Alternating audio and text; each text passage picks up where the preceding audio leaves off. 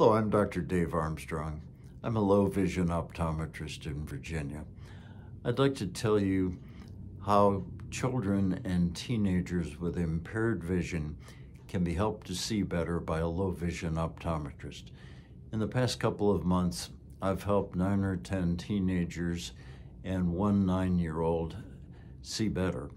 Half of them have Stargardt disease, and the others have achromatopsia, ocular albinism, optic nerve dysplasia, and hemianopia.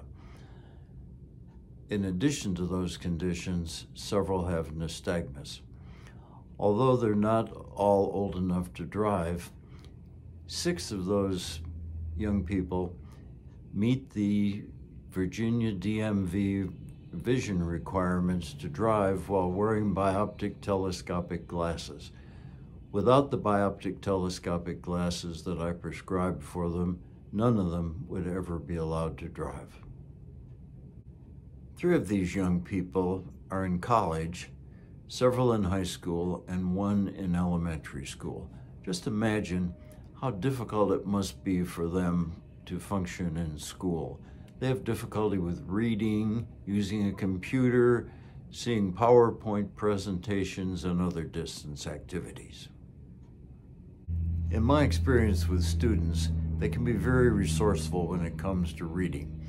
They've figured out how to use an iPad or cell phone to enlarge the print so that they can see it better and read it. They come to me for help with their distance vision. The older ones want to be able to drive. Bioptic telescopic glasses like these can be life-changing for them.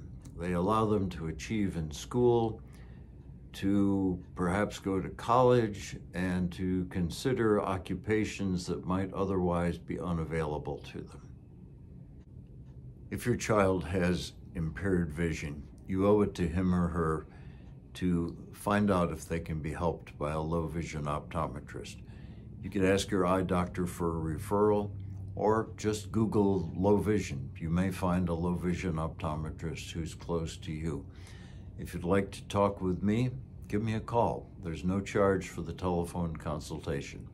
I'll ask you a few questions and be able to tell you if I can help your child see better so they can function at their highest level in school and enjoy a more active and independent life.